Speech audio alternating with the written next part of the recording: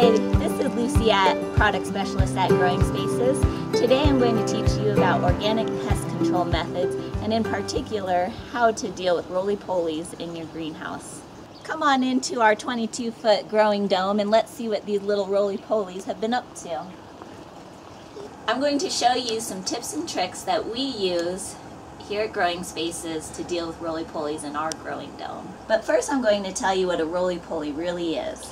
We all have fond memories of playing with roly-polies as kids. They're relatively abundant, they're easy to catch, and they roll up into a little ball in your hand. We often think of roly-polies as an insect, but they're really crustaceans, a relative of the shrimp. Most commonly known as the pill bug and sow bug. There are some differences between a roly-poly and a sow bug, but for the most part, we're going to treat them as the same. They are decomposers that love moist environments, primarily feed off of decaying organic matter, but they will also eat your tender shoots, leaves, fruit, and young roots, anything they can access from the soil. They will eat your plants in your garden, so what can you do about it? I'm going to show you a few different techniques that we're using here at Growing Spaces in the Growing Dome to mitigate the effects of our little friend, the roly-poly.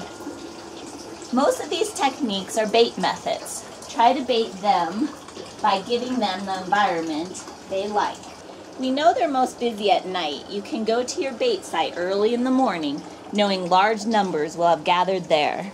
Manually pick them up and remove them from your garden. One method is to place a cantaloupe, mango, or potato peel in the bed overnight, or a cat food can filled with beer sunken into the soil will attract the roly-polies. You can also roll up a drenched piece of newspaper and put it in your garden bed where they will crawl into it.